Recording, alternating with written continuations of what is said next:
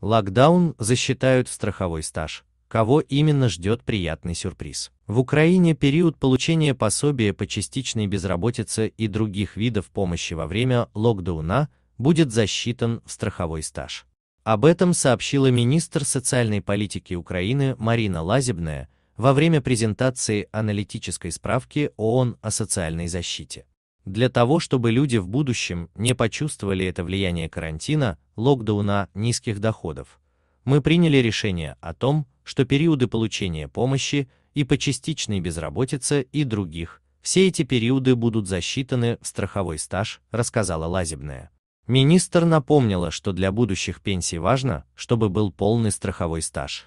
Выступление Марины Лазебной.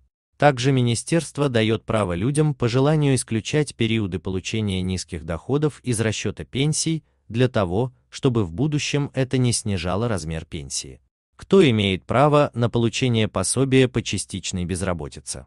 Право на получение пособия по частичной безработице есть у работодателей из числа субъектов малого и среднего предпринимательства, которые остановили, сократили деятельность из-за карантина, платили ЕФ в течение последних 6 месяцев, предшествующих дате остановки, сокращения деятельности, за наемных работников, с которыми не прекращены трудовые отношения на дату подачи обращения в Центр занятости. Соответственно, право на пособие не имеют работники, которые получают пенсию или работают у работодателя по совместительству.